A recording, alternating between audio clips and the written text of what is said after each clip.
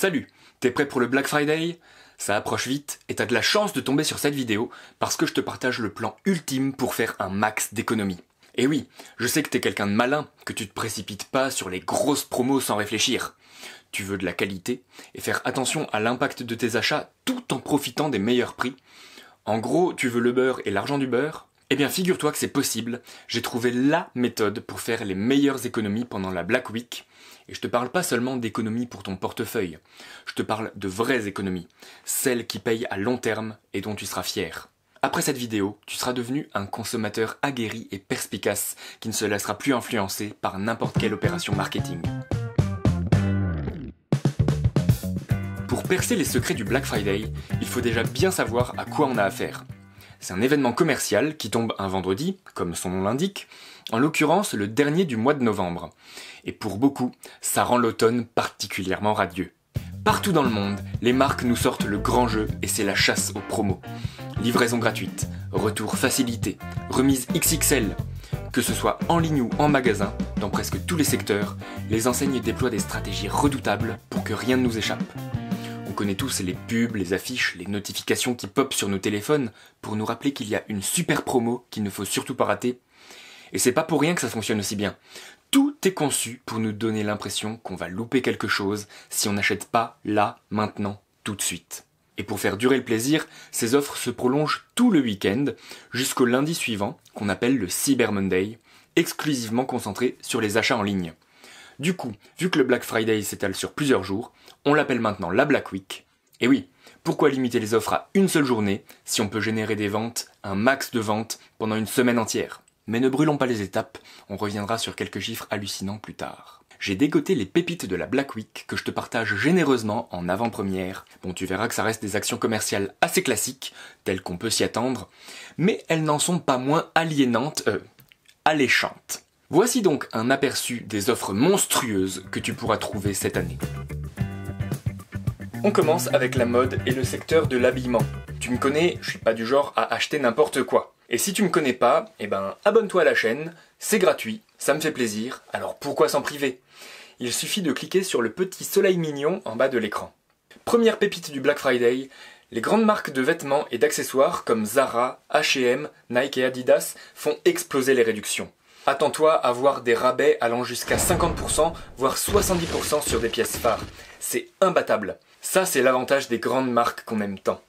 Elles peuvent se permettre de vendre certains articles à perte parce qu'elles les font fabriquer dans des pays où les employés sont si mal payés qu'elles arrivent à se faire une marge énorme tout le reste de l'année. Autre stratégie gagnante, la livraison et les retours gratuits. Chez Azos, plateforme incontournable pour les jeunes, la livraison est gratuite pour tout achat supérieur à 30 euros et des retours sont possibles pendant 30 jours. En gros, tu peux commander plusieurs tailles et renvoyer celles qui ne te conviennent pas, le tout sans frais. Difficile de pas craquer il nous donne envie de refaire notre garde-robe pour trois fois rien. Et ça marche? On se retrouve avec des placards pleins à craquer, à tel point qu'on ne finit que par porter 20% de nos habits en moyenne. On continue avec le deuxième secteur le plus populaire du Black Friday, l'électronique. Fnac, Darty, Boulanger et même Amazon dégainent les offres à tour de bras pour capter notre attention. Besoin d'un smartphone, d'une télé 4K ou d'une enceinte connectée? Pendant le Black Friday, on peut avoir des rabais jusqu'à 70% sur certains produits, notamment pour les appareils de l'année précédente. Des plateformes comme Amazon Prime permettent d'accéder aux offres avec une livraison express gratuite et des options de paiement en plusieurs fois pour nous pousser à acheter des gadgets dont on n'a pas forcément besoin tout de suite, mais qui deviennent soudain très attractifs grâce aux réductions. Samsung, quant à lui, propose souvent des remises spéciales avec la reprise d'anciens appareils, rendant l'achat encore plus tentant. Ton téléphone a l'écran fissuré? Ton ordi est devenu un peu lent? C'est le moment de renouveler ton matériel obsolète. De toute façon, tu trouveras bien quelqu'un pour racheter ton vieux matériel sur Vinted ou Le Bon Coin, même si c'est juste pour récupérer les pièces. Le reste finira à la poubelle puisque c'est pas recyclable, mais bon, c'est le cycle de vie naturel des objets, on n'y peut pas grand chose. Le Black Friday touche aussi l'épicerie et les produits du quotidien. Des enseignes comme Carrefour, Leclerc et Auchan se mettent à proposer des promotions sur des produits alimentaires, d'entretien et même des abonnements aux box repas. Carrefour, par exemple, offre souvent des réductions jusqu'à 50% sur les produits gourmets et les coffrets cadeaux, parfaits pour les fêtes qui approchent. En ligne, des sites comme Nespresso proposent aussi des remises sur les capsules, avec souvent des cadeaux supplémentaires, comme des mugs ou des accessoires offerts pour un montant d'achat minimum. Ça ne m'intéresse pas personnellement puisque je suis plutôt un amateur de thé, mais ça fait toujours de bonnes idées de cadeaux. C'est donc le moment de penser à tes cadeaux gourmands de fin d'année et d'en profiter pour remplir ton frigo et tes placards à moindre coût. N'hésite pas à faire des gros stocks. Au pire, si t'arrives pas à tout manger avant la DLC et que tu dois jeter des kilos de nourriture qui a tourné, je suis sûr qu'au final t'auras quand même fait des économies. Le savais-tu? Côté divertissement, le Black Friday c'est aussi le moment idéal pour les abonnements et les plateformes de streaming. Des géants comme Spotify, Netflix, Disney ⁇ ou encore Canal ⁇ proposent des offres spéciales pendant cette période, souvent sous la forme d'abonnements à moitié prix ou de mois gratuits pour tester leurs services. Pour les gamers, Xbox Game Pass, Xbox Game Pass, Xbox Game Pass, ils auraient pas pu trouver un nom plus facile à prononcer, ou encore PlayStation Plus. Bah voilà, c'est plus facile ça. Ils offrent des réductions significatives sur les abonnements, permettant d'accéder à un large catalogue de jeux pour un rien du prix habituel. Alors, qu'est-ce que tu dis de ça? L'accès à la culture à un moindre prix. Il n'y a vraiment pas à réfléchir. En plus, c'est du numérique, du virtuel. Ça ne prend pas de place chez toi et ça consomme presque rien à part un peu d'électricité. Bon, de l'autre côté, il a fallu installer toute l'infrastructure colossale pour faire fonctionner Internet, mais c'est un service d'intérêt général, donc c'est bien. En cette période où les parents commencent à s'activer pour Noël, les enseignes de jouets comme Jouet Club, King Jouet et la Grande Récré profitent du Black Friday pour proposer des réductions impressionnantes sur les jouets pour enfants. Attends-toi à avoir des rabais de 30 à 50% sur les marques populaires comme Lego, Playmobil et Barbie. Amazon, toujours leader, offre des réductions dans ce secteur en partenariat avec des marques pour proposer des baisses de prix sur les dernières tendances et les services comme la livraison gratuite et les retours étendus jusqu'après les fêtes facilitent les achats impulsifs. Tu peux faire tes cadeaux à l'avance, puis retourner ou échanger si besoin. Tu peux donc faire tes achats de Noël les yeux fermés. De toute façon, je te connais. Prévoyant comme t'es, t'as un budget cadeau et tu vas t'y tenir sans le dépasser. T'es pas du genre à faire des achats compulsifs. On a vu qu'avec la livraison gratuite, les retours facilités et les remises spectaculaires, tout est mis en place pour qu'on succombe à l'appel du panier. Finalement, c'est exactement ce à quoi on pouvait s'attendre. Rien de très original. Les grandes marques nous sortent la même rengaine chaque année, et pourtant, on s'en lasse pas. La quantité de ventes aurait même tendance à augmenter, et c'est bien normal. Qui n'aurait pas envie de profiter des prix cassés pour faire des économies? On vit quand même dans une belle époque. Pouvoir acheter tout ce qu'on veut pour pas cher et le recevoir chez soi, sans quitter son canapé. Mondialisation, je te dis merci. Mais quand même, c'est pas un peu trop beau pour être vrai? T'es sûr qu'on nous prendrait pas un peu pour le pigeon de la farce?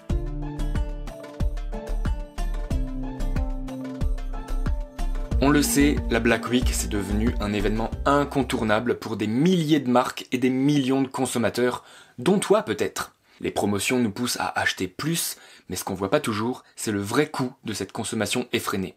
Je vais t'expliquer, chiffre à l'appui, comment ces jours de frénésie d'achat génèrent des tonnes de pollution, de gaspillage et de dommages sociaux. Chaque année, le Black Friday et le Cyber Monday battent des records de vente et des records de pollution. D'après une étude réalisée par la société d'analyse en environnement Insight, les émissions de CO2 des livraisons augmentent de plus de 30% pendant la Black Week par rapport à un mois normal. Rien qu'aux États-Unis, ce sont près d'un million de tonnes de CO2 qui sont émises en quelques jours.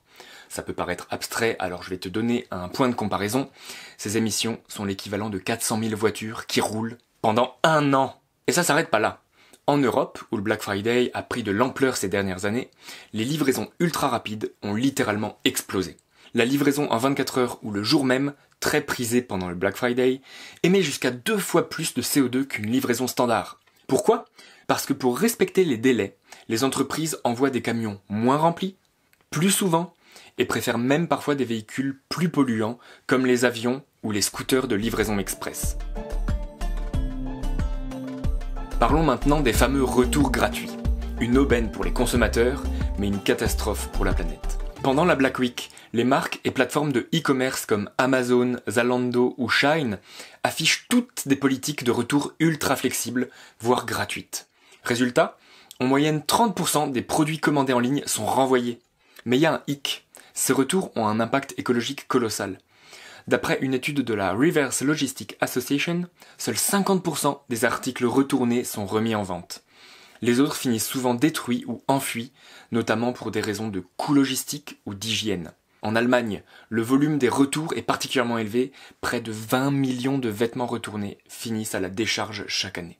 Imagine ça, chaque retour signifie des trajets supplémentaires pour les camions, des emballages de plus, et souvent des produits qui finissent par être brûlés ou jetés c'est un véritable gâchis de ressources et une contribution directe à la pollution atmosphérique. Le Black Friday, c'est aussi synonyme de renouvellement massif d'appareils électroniques. Smartphones, télévisions, ordinateurs portables. En France, la seule journée du Black Friday 2023 a vu une augmentation de 50% des ventes de smartphones par rapport à une semaine classique. Or, ce renouvellement constant d'appareils est à l'origine d'un fléau écologique majeur, les déchets électroniques. Les chiffres sont impressionnants. En 2022, le monde a généré 53,6 millions de tonnes de déchets électroniques. Pour te donner une idée, c'est l'équivalent de 4500 fois le poids de la tour Eiffel. Et sur ce total, seuls 17% sont recyclés correctement.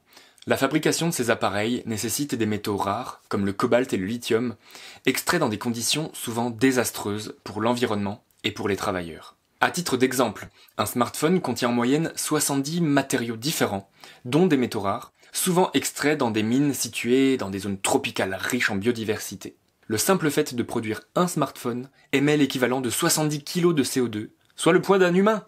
Le cycle du Black Friday alimente donc une boucle sans fin où on achète du neuf, où on jette, et on génère des montagnes de déchets qui vont polluer pendant des millénaires.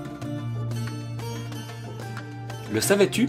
Derrière chaque produit, il y a des hommes et des femmes qui travaillent souvent dans des conditions difficiles pour que nous puissions profiter de ces réductions alléchantes. Pendant le Black Friday, les salariés des entrepôts, des centres de distribution et des usines subissent une pression accrue pour répondre à la demande. Amazon, par exemple, pour ne citer que, a fréquemment été critiqué pour les conditions de travail pendant cette période. Les employés témoignent de cadences infernales, de pauses chronométrées et de stress intense. En 2020, lors d'une enquête menée par Le Monde, des employés d'Amazon France ont révélé que la charge de travail pendant le Black Friday double, voire triple, les obligeant parfois à travailler jusqu'à 12 heures par jour. Des rapports similaires proviennent d'autres géants du e-commerce en Europe et aux États-Unis, comme Zalando ou Walmart. Et ce n'est pas tout. Une grande partie des produits bon marché, notamment dans le secteur textile, sont fabriqués dans des pays où le droit du travail est peu respecté. Au Bangladesh, par exemple, les ouvrières textiles gagnent environ 3 euros par jour, soit à peine de quoi survivre. Elles travaillent souvent 60 heures par semaine, dans des conditions qui mettent leur santé en danger. Selon l'ONG Clean Clothes Campaign, 80% des ouvriers du textile dans le monde vivent sous le seuil de pauvreté. Pour produire en masse, il faut énormément de matières premières, et leur extraction a des conséquences désastreuses sur les écosystèmes. Par exemple, l'industrie de la mode une des grandes bénéficiaires du Black Friday, est responsable de 20% des eaux usées mondiales et de 10% des émissions mondiales de CO2. Un autre exemple est la culture intensive du coton.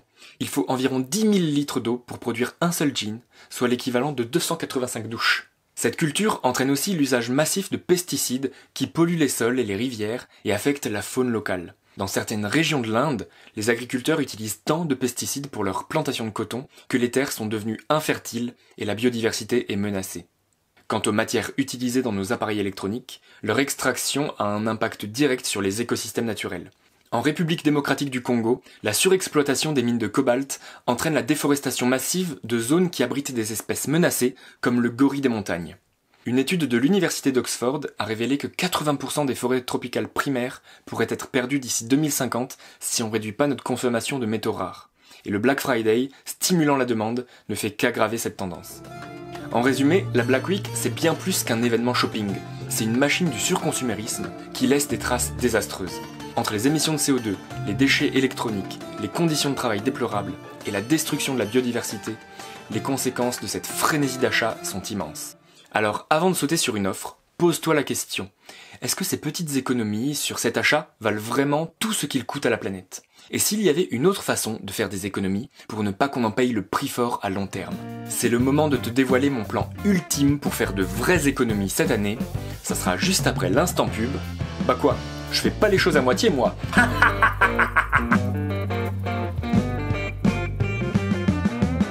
Maintenant qu'on a vu le vrai visage du Black Friday, laisse-moi te parler du Green Friday, ou Green Friday en français. Ce mouvement est né pour contrer cette folie de la consommation et proposer une alternative plus respectueuse de la planète, de ses ressources et des travailleurs. Le Green Friday, c'est pas un appel à ne plus rien acheter, c'est un appel à mieux consommer. Concrètement, on peut tous être des consommateurs, des consommateurs responsables, qui achètent en connaissance de cause et qui font des choix qui ont du sens. Et tu vas voir qu'il y a plein de bons réflexes pour y arriver. Le premier réflexe, c'est de se poser une question simple avant chaque achat, en ai-je vraiment besoin? Ça peut paraître basique, mais en réfléchissant quelques secondes, on se rend compte qu'on se fait bien souvent avoir par l'envie d'acheter un produit juste parce qu'il est en promo. Cette réflexion nous amène à consommer beaucoup moins, mais surtout mieux. D'ailleurs, une étude de l'ADEME indique que 80% des produits achetés en Europe pendant le Black Friday finissent dans les placards, voire à la poubelle, dans l'année qui suit. C'est triste. En adoptant une approche plus réfléchie, non seulement tu fais des économies, mais tu réduis aussi ta consommation de ressources naturelles. Par exemple, si chacun de nous achetait un vêtement de moins par an, c'est pas beaucoup, ça permettrait d'économiser un million de tonnes de CO2 en France, l'équivalent des émissions de plus de 300 000 voitures sur un an. Ça joue Certaines marques ont compris l'urgence écologique et sociale et proposent des produits plus respectueux de la planète et des travailleurs. Voici quelques exemples de marques engagées. Veja. Cette marque de basket éco-responsable utilise du coton biologique, du caoutchouc sauvage et du cuir tanné végétal. Veja est aussi transparente sur ses chaînes de production, assurant des conditions de travail éthiques. Patagonia. Cette marque américaine, connue pour le slogan N'achetez pas ce produit, encourage ses clients à réparer leurs vêtements plutôt qu'à les remplacer. Ils ont aussi lancé le programme Wornwear qui propose des vêtements Patagonia d'occasion. D'après un rapport de Patagonia, l'empreinte carbone d'un vêtement de seconde main est réduite de 20 à 30% par rapport à un produit neuf. Ces marques nous montrent que consommer de manière responsable est possible sans sacrifier la qualité ou le style. Acheter chez elles, c'est encourager des pratiques plus éthiques et soutenir une économie circulaire qui consomme moins de ressources naturelles. Si tu connais d'autres marques alternatives qui travaillent en économie circulaire, partage-les dans les commentaires pour en faire profiter tout le monde. Au lieu de racheter du neuf, pourquoi ne pas donner une deuxième vie aux objets? C'est là que des plateformes comme Backmarket interviennent. Backmarket, c'est une marketplace dédiée aux reconditionnés qui permet d'acheter des appareils électroniques de seconde main. En choisissant du reconditionné, tu participes à la réduction des déchets électroniques et tu réduis également ton empreinte carbone. D'après un rapport de Backmarket, prolonger la durée de vie d'un smartphone d'un an permet de réduire de 30% l'empreinte carbone de l'appareil. Emmaüs et Le Bon Coin sont aussi d'excellentes options pour trouver des meubles, des vêtements et des objets du quotidien de seconde main. En France, le marché de la seconde main a permis d'économiser 700 000 tonnes de CO2 en 2022, soit l'équivalent de retirer près de 300 000 voitures de la route pendant un an. Donc en achetant d'occasion ou reconditionné, tu fais du bien à ton porte-monnaie et à la planète. Acheter des produits locaux, c'est soutenir les producteurs de ta région tout en réduisant ton empreinte carbone. Pourquoi? Tout simplement parce qu'un produit local parcourt beaucoup moins de kilomètres avant d'arriver dans ton assiette ou dans ton salon des entreprises comme la Ruche qui dit oui facilitent l'achat de produits locaux et de saison en organisant des points de vente directs entre le producteur et le consommateur. Biocop propose également des produits locaux et bio avec une politique de réduction des emballages. Chaque achat local permet de diminuer les émissions de CO2 liées au transport et d'encourager l'économie de proximité. Chez moi, à la ferme, on ouvre notre grange pour la vente directe de nos légumes tous les vendredis soirs. Donc ça tombe forcément le jour du Black Friday, et on va en profiter pour faire une opération commerciale à ne pas manquer. Green Friday, journée exceptionnelle à la ferme, aucune remise sur tous nos produits. Achetés au prix juste pour rémunérer le producteur. Parce que oui, les promos à gogo, c'est pas rigolo pour les producteurs locaux on va utiliser le kit de communication qui est mis à disposition par l'organisme Bio en Grand Est. Si tu le veux aussi, je t'ai fait un lien de téléchargement pour le récupérer, il est dans la description de la vidéo. Fais-toi plaisir. Et je vais finir avec la meilleure solution pour faire des économies. C'est tout simplement de ne rien acheter. Et ça, c'est une vraie démarche anti-consommation qui fait du bien à tout le monde. D'ailleurs, une étude montre que la surconsommation est source importante de stress pour les gens. Le fait de réduire le nombre d'objets qu'on possède permettrait d'améliorer notre bien-être mental en limitant le sentiment de surcharge. Au lieu de réfléchir à tes prochaines acquisitions, de dépenser ton temps à la recherche de la meilleure affaire, Pourquoi ne pas ralentir et privilégier des activités qui te font du bien, comme de passer du temps avec tes proches, faire du sport ou de cuisiner un bon repas? Ces choix simples mais efficaces réduisent ta participation au surconsumérisme et te font réaliser qu'on n'a pas besoin de tant de choses pour être heureux. Voilà, tu sais maintenant comment transformer ton Black Friday en Green Friday et devenir un consommateur engagé. Les économies qui nous profitent ne sont pas celles qui allègent nos comptes bancaires, mais ce sont les économies de ressources et d'énergie qui soulagent la planète, les travailleurs et la biodiversité. Autrement dit, les seules économies durables qui payent sur le long terme pour les générations futures. Tu l'auras compris, j'ai fait cette vidéo pour entraîner subtilement les adeptes du shopping dans les coulisses du surconsumérisme, pour les sensibiliser aux conséquences de cette immense industrie planétaire. Alors je compte sur toi pour m'aider à relayer ce message important en partageant cette vidéo autour de toi pour inspirer ton entourage. D'ailleurs, pour préparer des fêtes de fin d'année plus éthiques et moins consuméristes, tu trouveras plein d'autres idées concrètes dans ma playlist consacrée à un Noël en transition douce, je l'affiche juste ici. Et pour soutenir mon travail sur cette chaîne, tu peux y donner une petite contribution sur ma page Tipeee dès maintenant, le lien est dans la description. Et c'est pas la peine d'attendre la Black Week pour le faire, je ne ferai pas d'offre spéciale, non non non. Je remercie très sincèrement et du fond du cœur toutes mes tipeuses et tipeurs qui ont déjà franchi le cap, vous êtes mes rayons de soleil. Prenez soin de vous et à très bientôt.